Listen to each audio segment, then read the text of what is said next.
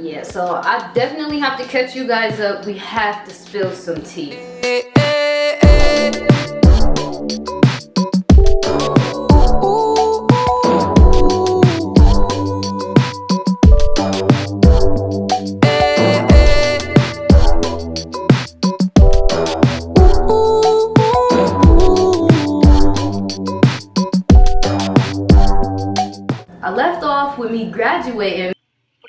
Tanto tiempo en venir a hablarme?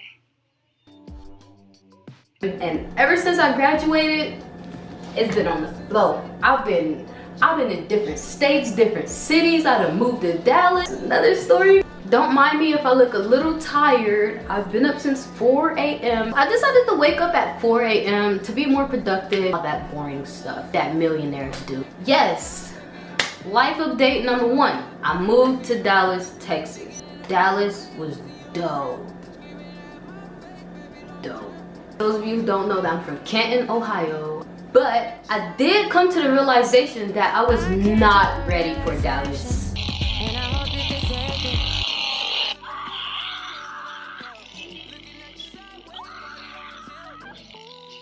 I had every single sign in broad daylight that said Dallas, Dallas, Dallas, Dallas.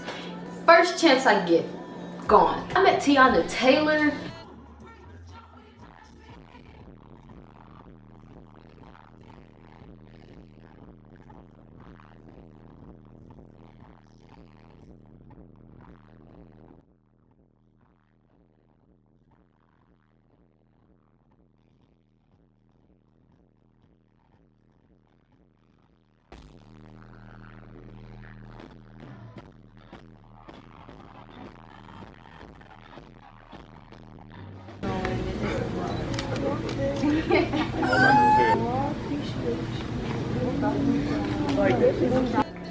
This tea is hot. It was just the best experience ever. A whole nother story that I do not want to go in detail about. I was training to be on a TV show. I can't say no more. That's all I can say. Shut up. I want to get sued. I did go to LA. I did get to meet someone famous. I need a round of applause. Round of applause. Ray J! I met Ray J. But yeah, back to the TV show. I can't really spill no details because you guys will probably guess what TV show it is.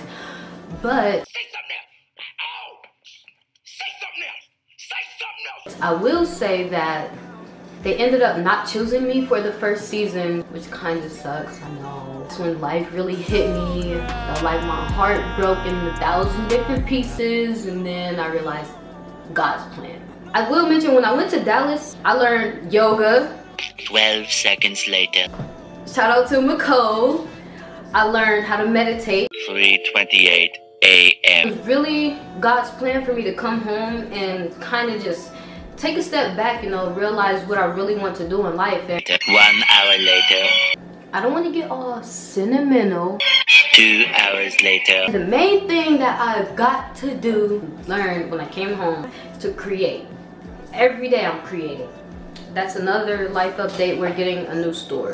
Three hours later. Can you move it along? I'm all out of time card. It's gonna be downtown Canton on 6th Street. Our grand opening, you better be there. So yes, we're getting a building. Okay, I'm annoying, but hold on. 20 minutes later. So yes, Double Customs is having a store. Oh my God, thank you, Lord. Many months later. My purpose. Thank you, God. I knew it was a reason I shouldn't have been in Dallas. Three weeks later. I don't really want to speak too much on this story. So much later that the old narrator got tired of waiting and they had to hire a new From here, it's only up. It's only going up. Wow. Tomorrow. God just keep on showing out. I'm telling y'all. Tomorrow for sure.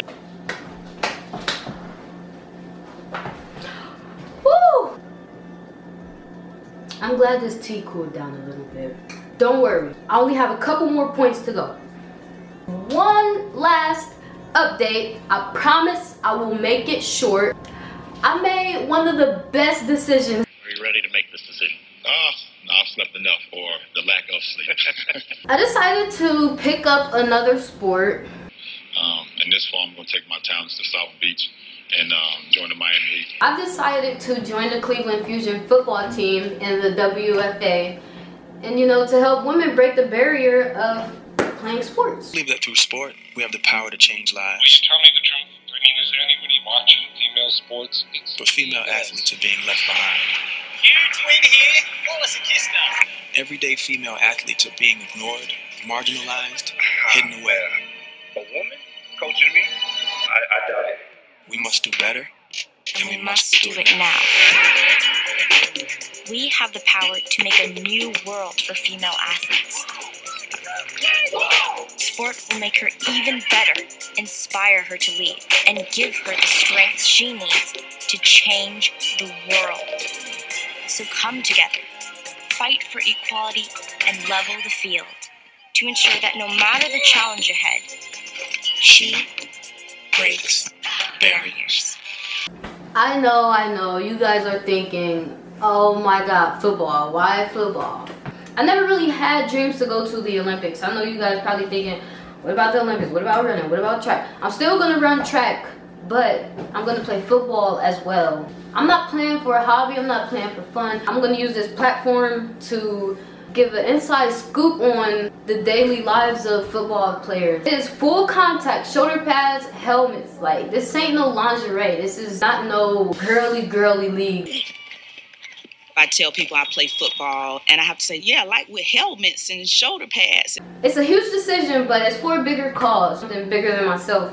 If you want to know more, please subscribe. It's gonna be fun, this whole journey, me transitioning from track to football. I hope that you guys will follow my journey and continue with me on this path. I'm gonna explain a lot more. Maybe Aziah will be on the next video, maybe not, I don't know.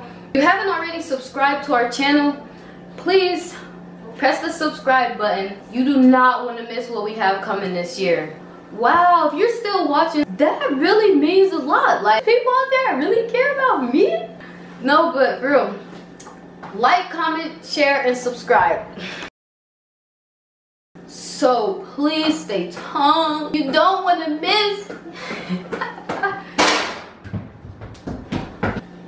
Nothing broke.